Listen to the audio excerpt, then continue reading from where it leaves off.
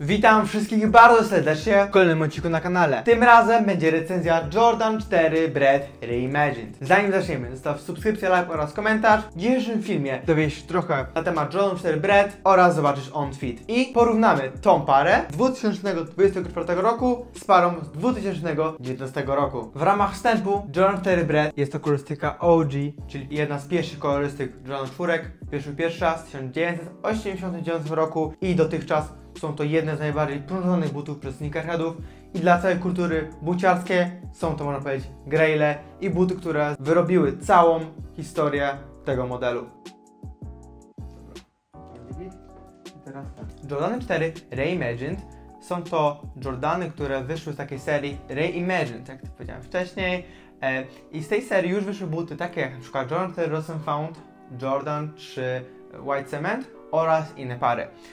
Ta cała wersja Reimagined chce przywrócić blask najlepszych kolorystyk i modeli z serii Jordan Brand i tutaj pierwszy raz zostało zrobione na Jordan 4 e, no i wybrali kolorystykę Bread, czyli najbardziej popularną kolorystykę ze wszystkich. Zmienili w nich trochę rzeczy, ponieważ normalnie te Jordany są z nubuku, a zmienili ten materiał na skórę.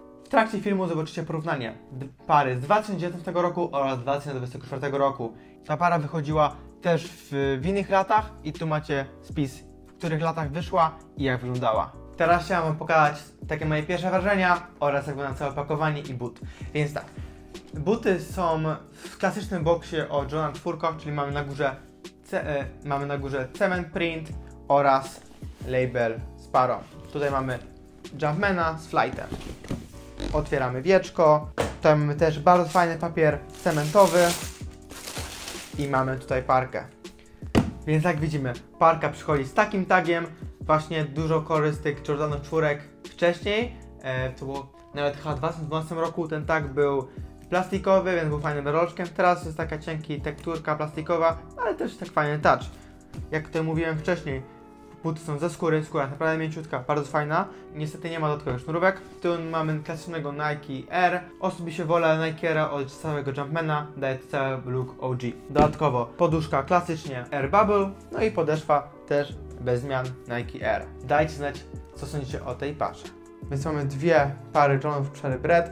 Tutaj macie parę z 2019 roku. Jak widzicie, ma też Nike Air, to bardzo fajnie. I tak naprawdę się różnią tylko materiałem Apera, Tutaj mamy nubuk, tutaj mamy skórę i co wolicie. Osobiście chyba fajnie wygląda nubukowy, ale skóra też nie jest zła. Ja tą parę mam od 2019 roku, czyli już ma 5 lat, no i nie są aż takie mega rozwalone. Jednak Jordan 4 są potężnym modelem. Do nich był pomarańczowy beloczek Nike Air. Tu mamy porównanie pudełka 2019-2023 są podobne, tylko te printy są odwrócone. Tu mamy czarny lead, czyli czarne wieczko. Tu mamy wieczko z cement printem i dajcie znać, który box lepszy. Ten daje taki OG vibe, więc wolę ten niż ten. Tutaj macie mały look on fit. Osobiście para jest bardzo wygodna.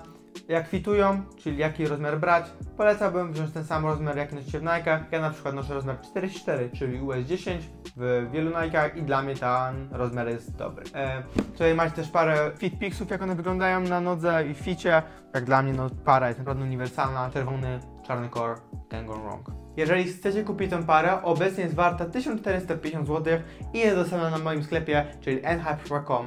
Mamy wszystkie rozmiary, więc jeżeli chcesz kupić tę parę, to wbijaj na stronę i kup sobie fajną parkę.